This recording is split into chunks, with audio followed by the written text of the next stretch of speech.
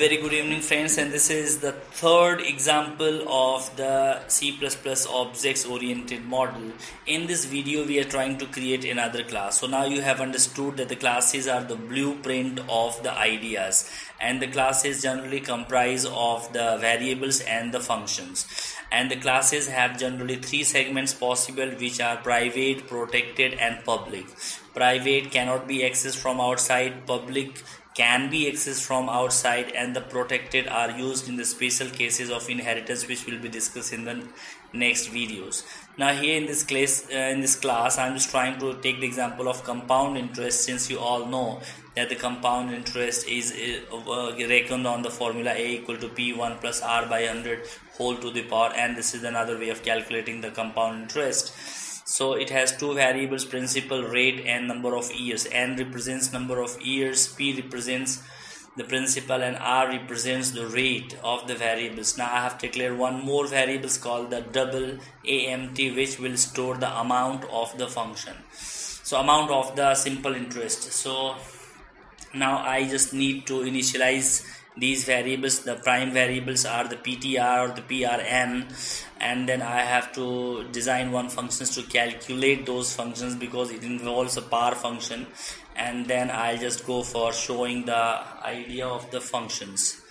So here in this condition now you see that i have declared and I have kept the three functions all public and all the four variables private. Means they cannot be accessed from outside. Now just trying to defining them. So the first function is get data is return type is void. So the void name of the class compound i and then scope resolution operators double colon and the name of the function get data. And then there i'll write here i'm just giving this function the power to display something to the user and receive the information from the user. So this functions get data will not just take any value just simply it will display the enter principal and then it will receive the principal from the user. So the function is going to receive the things which cannot be made inline because it is now just calling different things calling the monitor displaying the things. So even if i make it inline it will not work properly. So that's why i'm just making it a normal function defining outside the class body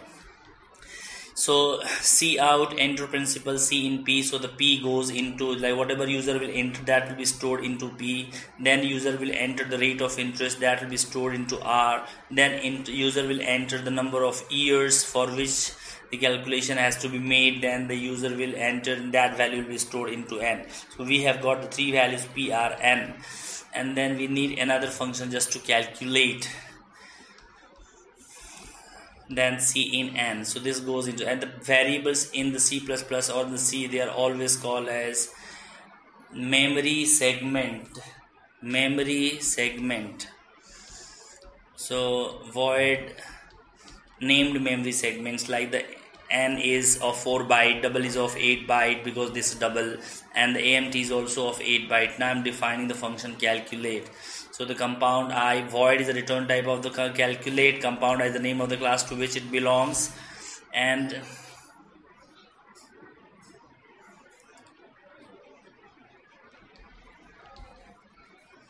amount is p into power function because it is 1 plus r upon 100 whole to the power n.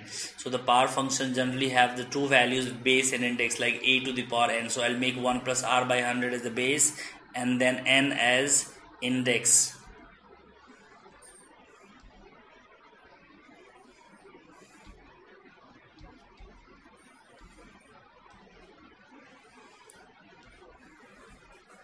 So now I have to include the math dot power function because it has have uh, power functions defined inside the math. So I'll go there and include the math dot h header file hash include no no not importing hash include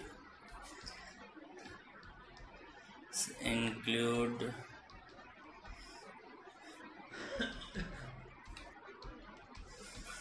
math dot h.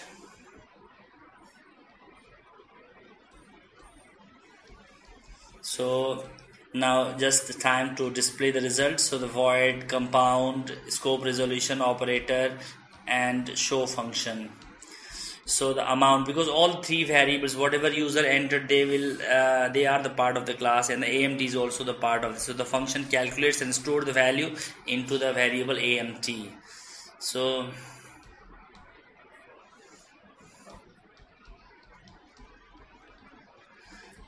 now the result will displayed into the amount equal to AMT I think caps lock is on.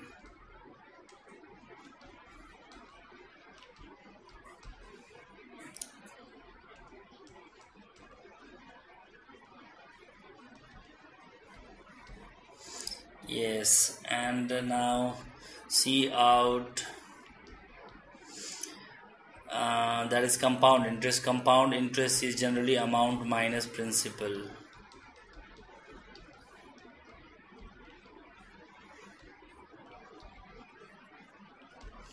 so it should be amt minus p. Now everything looks nice and since we have to go into the main function these are all defined outside the main function. Main is where all these executions will begin. So the int now I'll create the one object for the compound i. You can write it as compound i and then its object is ca and then with the help of c i'm calling the get data function to receive the data from the user. And then I'll be calling calculate function which will calculate and initialize the memory cell AMT and then I'll call the show function. So now let me save the file with the extension .cpp and then I'll compile Alt plus F9 is compilation control plus F9 is for running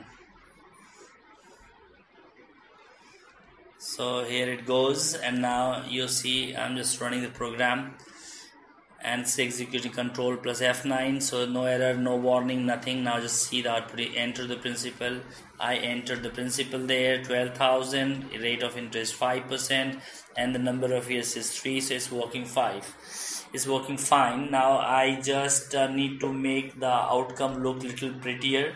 So I'll go and just make some changes so the show functions. I think if we just here the bracket is also displaying. So if I just remove the bracket then also I think will not have any problem. And um, before this function this is next endl for the slash n you can also use endl for the new line. This is a new uh, thing. Now I use the clear screen functions here inside after creation of the objects and run the function again run the program again and then there you see its principal 10,000 and then rate of interest is 10% per annum and the time is 2 now this is working very nice. Just thank you very much. Keep on watching and keep on practicing